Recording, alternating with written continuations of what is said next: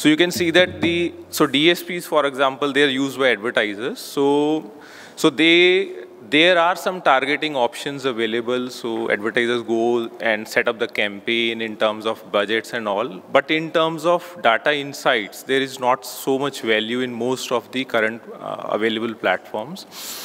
And if you talk about the publishers, so, so especially in India, you will find that there is a lot of oversupply of traffic in India. So that indicates that the utilization of traffic is not optimal. So today we are launching our DMP platform that is TrueInsight. So that is going to give a deep user insight. So we can help the advertisers and the publishers both in solving this problem. So what we believe is that if we are able to give a proper insight of the user, so the advertiser can reach to the end user in a more targeted way, that is point one.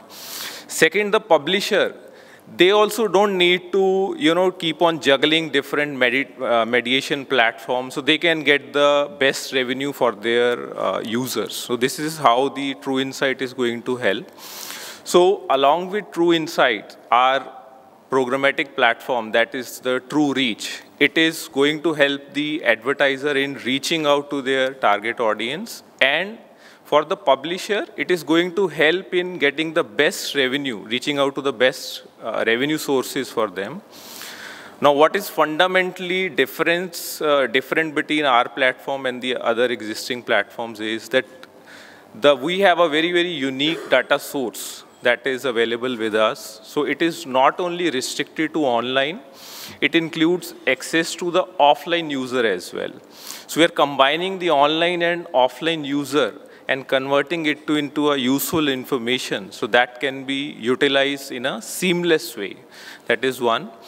Second, MoMagic as a company has been connected with the mobile handset players uh, since last seven years. So we, we get a perspective for understanding the user from a mobile handset way and not restricted to any app. So that also gives us a unique edge. So so for our uh, clients, existing clients and our future clients, whether it is advertisers or publishers or media agencies, so these platforms we believe are going to help all of them in, you know, in solving the current problems that they are uh, currently facing in the existing ecosystem.